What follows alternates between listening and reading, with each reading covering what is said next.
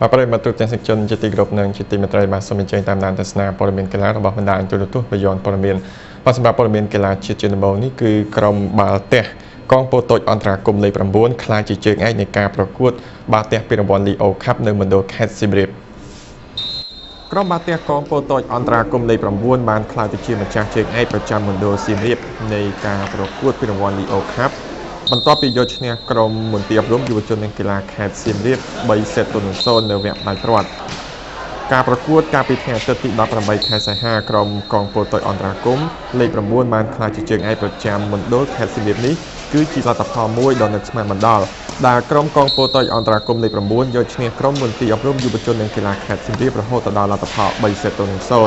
11 34 32និង25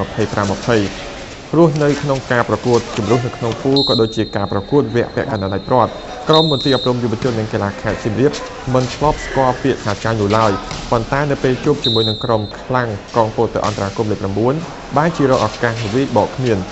ចប់ការប្រកួតក្រុមមន្ត្រីអប់រំយុវជននិងកីឡាខេត្តសៀមរាបបានត្រឹមចំណាត់ថ្នាក់លេខ2ប៉ុណ្ណោះខណៈក្រុមកងពលតូចអន្តរាគមលេខ9ទទួលបានចំណាត់ថ្នាក់លេខ1 ប៉ុន្តែទោះជាយ៉ាងណាក្រុមទាំងពីរសុទ្ធតែមានសំណាងឡើងមកការប្រកួតវគ្គផ្លាច់ព្រាត់ដើម្បីលើកពានធំនៅភ្នំពេញដូចគ្នានៅក្នុងការប្រកួតកាលពីថ្ងៃទិត្យនេះផងដែរក្រុមប្រកួតប្រជែងយកចំណាត់ថ្នាក់លេខ3វិញគឺក្រុម Galaxy ប្រកួតឈ្នះក្រុមសុខភាពកីឡា3សេតទៅ0 25 22 25 7និង25 22